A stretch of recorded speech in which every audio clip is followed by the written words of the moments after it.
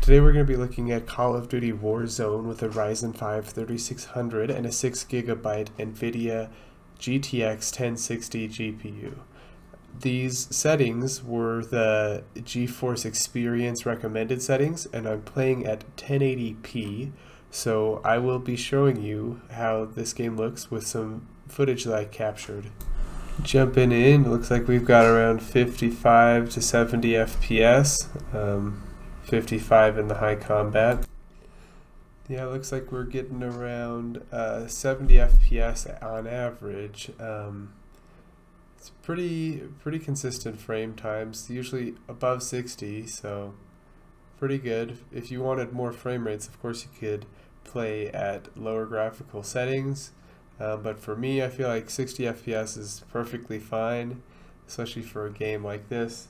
I mean, I'm not super competitive. Some people like to get 144 frames a second, but I mean, if you wanted that, you might want a different setup. But yeah, for those of you looking for around 60 frames per second, this graphics card looks like it's going to do that. I played a few rounds with it, and these findings look pretty similar all throughout. So yeah, anywhere from 60 to 75 frames per second on Call of Duty Warzone.